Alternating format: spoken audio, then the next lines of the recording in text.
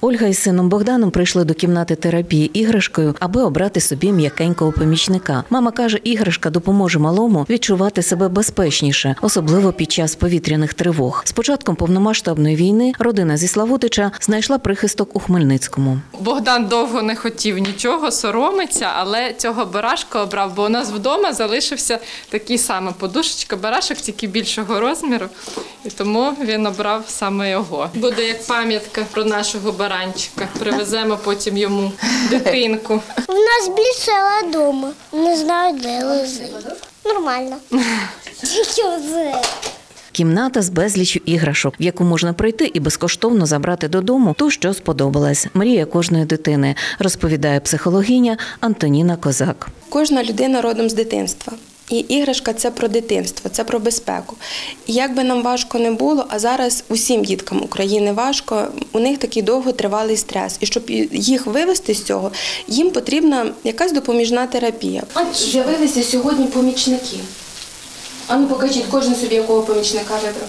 Кімната терапевтичної іграшки це волонтерський проєкт благодійного фонду Ракада. Він спрямований на психологічну підтримку дітей в умовах війни. Талісман проєкту єдиноріг Рокася. Дітки приходять до нас, ми проводимо заняття. Вони, наче приходять у таку чарівну кімнату.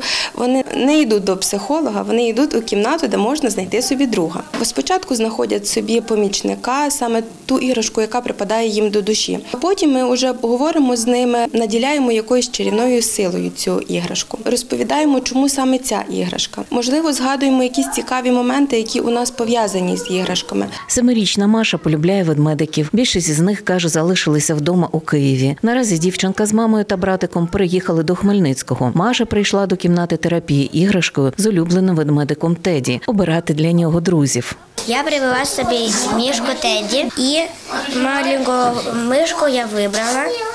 И такого цыпленка я выбрала. Это Тедди, это будет мини-Тедди. Он меня защищает от монстров. Я, коли спала, чуть-чуть э, я как-то боялась.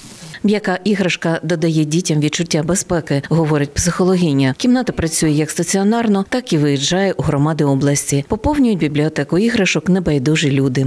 У даній кімнаті терапії іграшок зазвичай м'які іграшки, бо вони саме про цю безпеку, про тактильні відчуття, про якесь тепло. Дуже вдячні, коли нам приносять іграшки вже випрані. Всі іграшки е, в даний момент тут чисті, е, спеціальною лампою оброблені. Потреба у іграшках у нас є завжди. Наталія Паляниця, Юрій Чорний. Новини на Суспільному. Хмельницький.